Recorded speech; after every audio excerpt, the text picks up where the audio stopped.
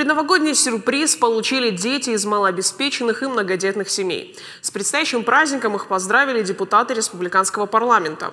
Алан Хугаев и Александр Тавитов поздравили 230 детей из Затеричного и промышленного округа Владикавказа.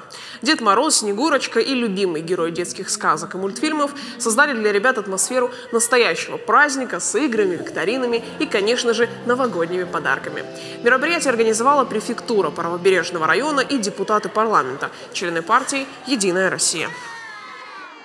Пытаемся сделать такой э, со своей стороны праздник, новогодний праздник, дарим подарки им, и поэтому сегодня для нас большой праздник в очередной раз встретиться с этими детишками и встретить, так скажем, Новый год.